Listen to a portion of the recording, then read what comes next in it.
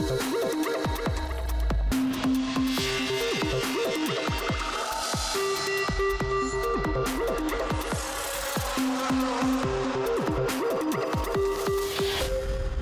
Армысыздар қазнет қауымын не алаңдатады? Қоғамдағы келеңсіздіктер мен түрлі жаңалықтарды блогер қауым қалай қабылдады?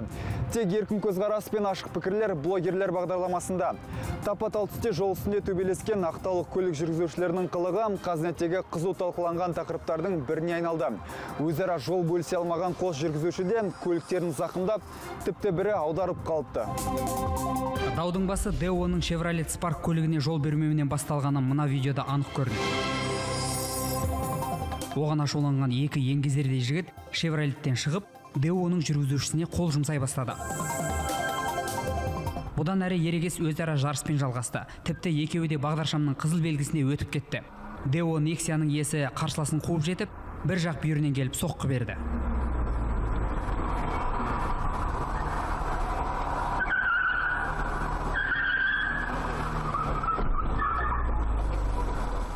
Жол үстіндегі текетірес мұнымен бітпегенге ұқсайды. Бірін бірі қуалаған екі жүргізуші де әуежайға баратын тас жолда сабасына түскен сияқты.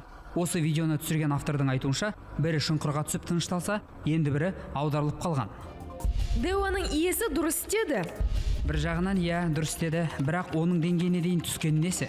Мен де ондай оңбағандарға жол бермеймін. Өздерін бәрінен керемет сезінеді. Сыбағасын алды. Део жарайсың. Тіпті өзінің көлігін аямады оның сазайын беру үшін. Адамдар қатыгез болып барады.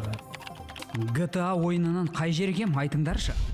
Таза екен. Део машинамен өздерінің тұрғысын ай. Нексияның шопыры айлакерде пысық екен. Екеуін де алдап соқты. Екі жігіт бір жігітке жабылу еркектік қасиет емес. Қорытынды. Екі жүргізуші де куәлігінен айырылады. Тіпті қылмыстық жауапкершілікке тартылуы мүмкін. Бұған қираған автокөлік пен жұқарып кеткен жүйкені қосыңыз. Айтпақшы бұдан бөлек олар ютубтың жұлдызына айналды. Көшеде көрсеңіздер саусақпен шұқып көрсетіңіздер. Астанадағы жоғары оқу орындарының біріндегі студенттер төбелесі жантүршігерлік өліммен аяқталды. Агротехникалық университеттің бірінші курс студентіне жатақханада бір бөлмеде тұратын досы әлімжеттік жасап ұрып соққан. Жантүршігерлік оқиға желідегілерді де бейжай қалдырмады.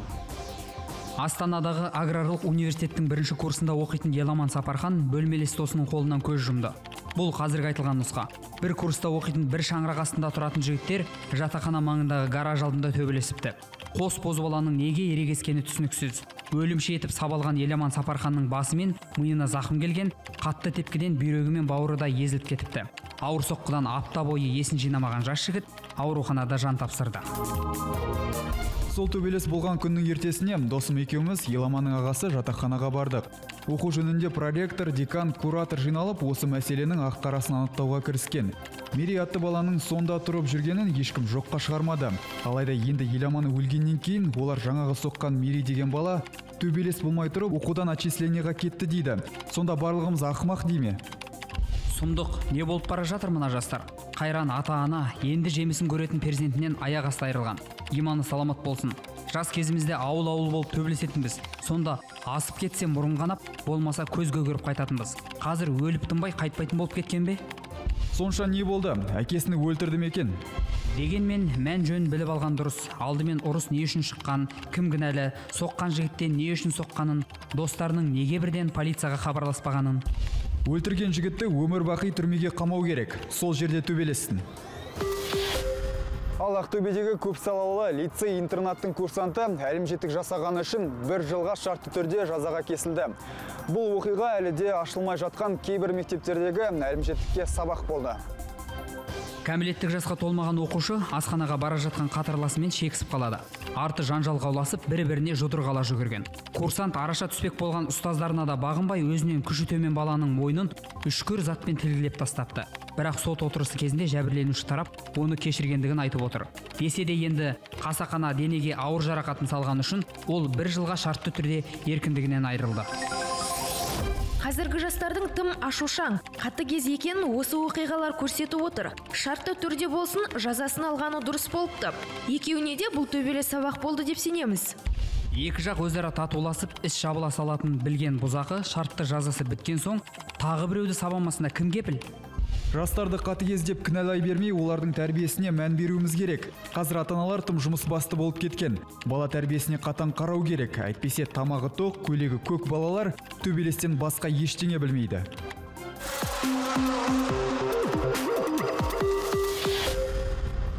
Бағдарламамызды деген екен айдарымен жалғастырамыз. Әлеуметтік желілер не істетпейді дейсіз? Ақш тұрғыны брайан есімді азамат фейсбук арқылы қызбен танысамын деп өмірі күрт өзгерді. Брайан мына суретте 280 келі салмақтың иесі. Ал мына суретті болса ол әлеуметтік желіде таныса бастаған соң жүктеген. Таныдыңыз ба? Бұл әлеуметтік желінің сыйқырлығы ма әлде ғашықтық па? Назар аударыңыз. Оқиға былай басталған. Кейіпкеріміз Великобритания тұрғыны Брайан Флеминг Draw Something желісінде танысады. Қалжыңы жарасқан жастардың қарым-қатынасы өрбей, олар Facebook арқылы бір-бірінің сенімін жаулауға тырысады. Сөйтіп 30 жастағы Брайан өзінің 50 жастағы құрбысы Истімге ішімдікке берілгендігін, онымен қоса артық салмағы жайында мұңын шағады. Бірақ бейтаныс жанның қолдауына сенген Флеминг керісінше әсерге тап болады. Яғни Джеки артық салмағыңды тастауың керек. Болмаса сенімен сөйлесуді доғарамын деп жігіттің алдына шарт қояды. Намысқа тырысқан Брайан ішімдіктен бас тартып диетаға отырады. Бертін келе спортқа көңіл аударып, салауатты өмір салтына бет бұрады. Салдарынан жігіт 170 келі салмақ тастаған. Мына комментарийді Джеки Истом досы Брайан салмақ тастап салауатты өмір салтына көшкеннен кейін Facebook желісінде қалдырған. маған сенің қуанышты күйің ұнайды. Енді ғана өмірге деген құштарлығың ашылып келеді. Бұл мен үшін өте маңызды. Жарайсың брайан. Бір жарым центнердей салмақ тастау нағыз ерлік қиын болған шығар оған. Неше айың кетті екен арықтауға. Адамдар спортпен шұғылданып артық салмақпен күресіп мынадай жағдайға жеткізбей алдын алулары міндетті.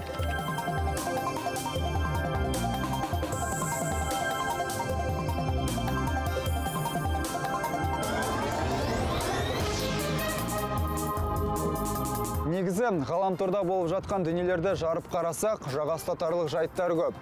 Бірі Facebook әлеуметтік желісіндегі қыз үшін артық салмақтан арылса, екіншісі хирургиялық пышақтың астына түсіп жатыр. Ғаламтордағы келесі батырымыздың оқиғасын тыңдап көріңіз. 25 жастағы жапон тұрғыны Рина Нанасия бірнеше рет пластикалық операцияны бастан кешкен. Не үшін дейсіз бе?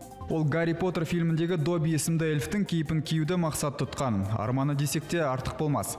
Әр операциядан соң Рина әлеуметтік желісіндегі парақшасына суреттерін жүктеп, оны желідегі достарымен қызу талқылап отырған. Аз уақыт ішінде қыздың мұрны, ерні, бет сүйегінің пішіндері өзгертілген. Сонымен қатар бетіндегі әжімдері жойылған.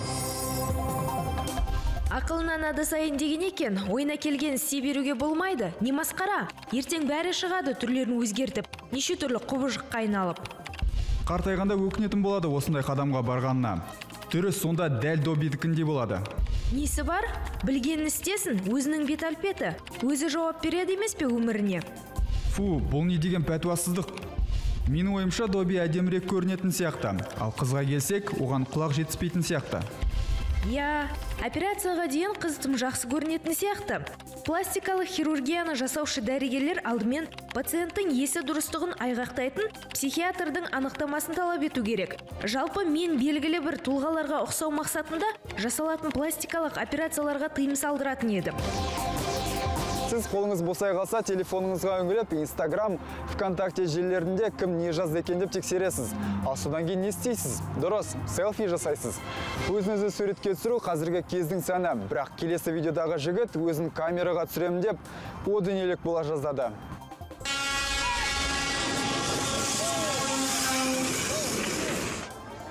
23 сәуір күні белгілі болғандай атышулы селфи арқылы байып қалатын болды. Енді ол видеоның әрбір қаралымы үшін ақша алатын болады. Тілшілердің есептеуі бойынша оған 250 мың ақш доллары төленбекші. Абай болу керек. Келесіде телефонымен қоса басында жұлпақ кетеді. Сіздерге кеңес, пойыз жүретін жерде суретке түспеңдер. Әйтпесе көрдіңдер ғой не болғанын. әйтеуір аман қалды мен оның орнында болсам басынан тепкен адамды сотқа берер едім Қазнетте қызу талқыланған тақырыптар, бүкпесіз айтылған ойлар мен тоқ етер жазылған твит әрқашан біздің назарымызда. Сондықтан салмақ той айтып онлайн болыңыз. Біздің бағдарламаның толық нұсқасын 24.kz сайтынан көре аласыздар. Келесі көріскенше.